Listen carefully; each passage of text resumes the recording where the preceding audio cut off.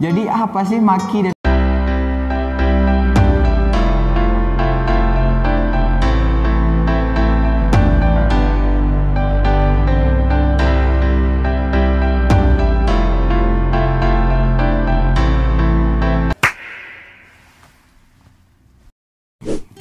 Assalamualaikum warahmatullahi wabarakatuh Alhamdulillah Alhamdulillahirabbil alamin wa bihi nasta'inu ala umuri dunya waddin wa ala alihi washabihi ajmain. Amma ba'du. Puja dan puji syukur hanyalah milik Allah Rabb semesta alam salawat serta salam. Tetap tercurah kepada junjungan kita Nabiullah Muhammad sallallahu alaihi wasallam. Kembali lagi bersama saya Husain Bukhari. Di video kali ini saya akan menjelaskan tentang Makki dan Madani Atau Makiyah dan Madaniyah Langsung saja teman-teman yang insya Allah dirahmati oleh Allah Subhanahu Wa Taala. Dalam video kali ini ada empat poin penting yang akan saya sampaikan.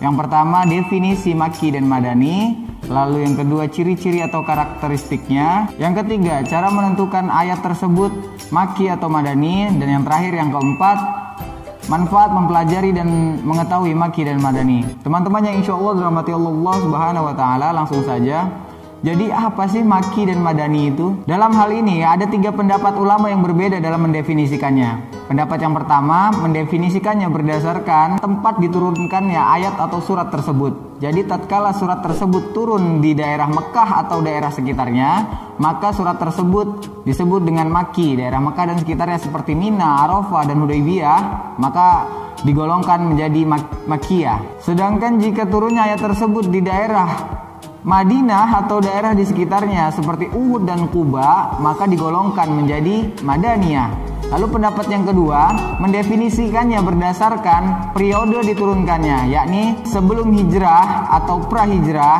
dan pasca hijrah atau setelah hijrah. Tatkala ayat tersebut turun pra hijrah atau sebelum hijrah maka ayat tersebut digolongkan menjadi makiyah dan apabila ayat tersebut turun setelah atau pasca hijrah, maka ayat tersebut digolongkan menjadi madaniyah. Teman-teman yang insya Allah rahmati Allah subhanahu wa ta'ala, kita ketahui bersama bahwa kurang lebih 13 tahun Rasulullah Shallallahu alaihi wasallam berdakwah di Mekah sebelum akhirnya memutuskan untuk hijrah ke Madinah. Dan setelah berhijrah ke Madinah pun Rasulullah Shallallahu alaihi wasallam masih sering tuh bolak-balik ke Mekah, ke Madinah seperti ke Uhud, ke Hudaybiyah, lalu kemudian Fathul Mekah, lalu kemudian uh, Haji Wada, Rasulullah masih sering tuh bolak-balik antara Mekah dan Madinah.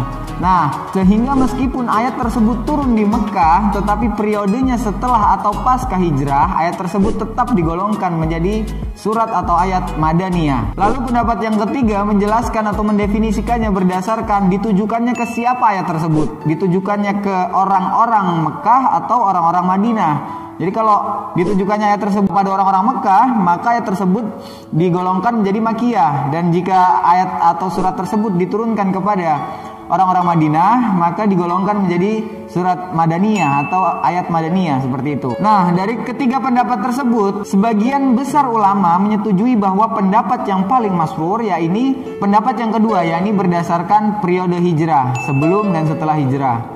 Teman-teman yang insya Allah rahmati Allah subhanahu wa ta'ala. Lalu selanjutnya apa sih ciri-ciri dan karakteristik dari Makiyah dan Madaniyah ini? Teman-teman yang insya Allah rahmati Allah subhanahu wa ta'ala pada umumnya ayat-ayat maki itu terkait dengan pondasi untuk beriman atau tauhid, sedangkan ayat-ayat madaniyah pada umumnya terkait dengan hukum-hukum terapan seperti fikih, lalu muamalah, lalu cara-cara kita berinteraksi seperti itu teman-teman. Karena pada konsepnya setelah orang tersebut beriman, maka pembuktian terhadap imannya yakni dengan menerapkan imannya dalam kehidupan sehari-hari seperti bermuamalah dan berinteraksi. Jadi harus beda dong orang-orang yang sudah beriman dengan yang belum beriman cara bertindak dan berinteraksinya. Kurang lebih seperti itu.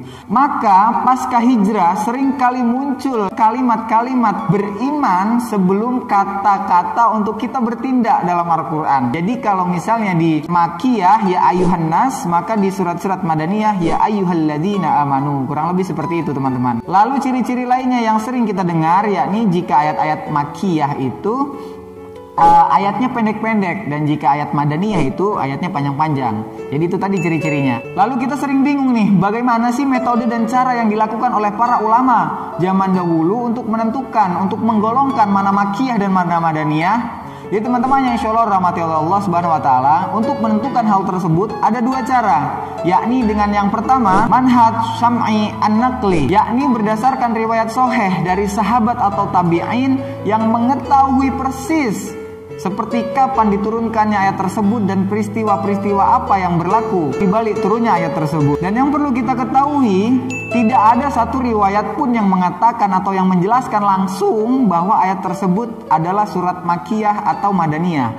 Jadi tak ada satu riwayat yang langsung menjelaskan. Lalu metode yang kedua yakni dengan manhaj kiasi al-ijtihad, yakni dengan pendapat ulama atau ijtihad ulama.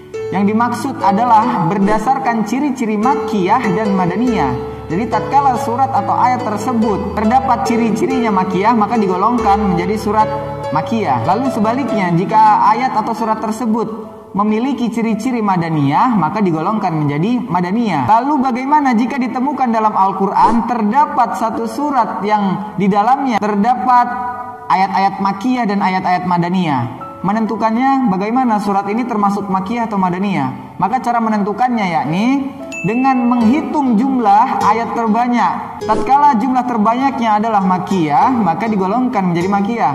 Tatkala ayat terbanyaknya madaniyah, maka digolongkan menjadi madaniyah. Seperti itu teman-teman kurang lebih. Lalu yang terakhir yang ingin saya sampaikan yakni manfaat kita mempelajari dan mengetahui maki dan madani teman-teman yang insya Allah rahmati Allah subhanahu wa ta'ala. Sekurang-kurangnya ada tiga manfaat kita mempelajari hal tersebut. Yang pertama untuk mengetahui nasih dan mansuh. Yang kedua, untuk mengetahui perjuangan para ulama dahulu untuk menjaga kesucian Al-Quran. Yang ketiga, untuk mempermudah kita dalam mendalami dan menafsir Al-Quran secara tepat karena asbabul nuzul turunnya suatu ayat sudah ditentukan. Jadi kurang lebih itu teman-teman bahasan kita pada video kali ini. Baiklah teman-teman, itu tadi penjelasan tentang maki dan madani atau makiyah dan madaniyah. Mudah-mudahan membantu teman-teman. Wallahu a'lam bishawab. Jika video ini membantu, jangan lupa share, like, comment, dan subscribe. Saya Husain Bukhari.